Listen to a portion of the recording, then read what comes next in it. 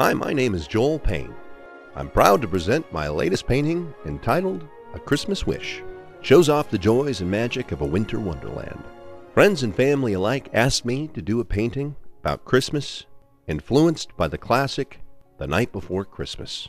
But I wanted to go a little further back in time and tell the story from Santa's perspective.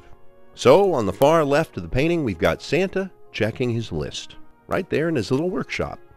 A little further over to the right, we see Santa's village and elves looking on as Santa flies through the sky across the northern lights, silhouetted by a full moon. On the far right side of the painting, Santa has landed on the roof, and like the story says, Father rose from his bed to see what was the matter.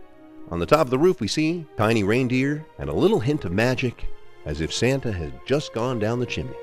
Below that, we see two young children with their faces pressed against the window, hoping to get a glimpse of Santa as he delivers the presents down below with fireplace aglow under the Christmas tree.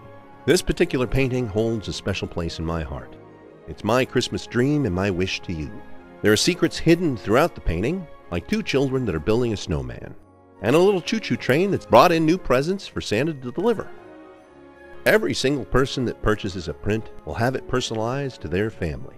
So I hope you choose this year to make this a wonderful gift for your family, something that you can cherish for years to come.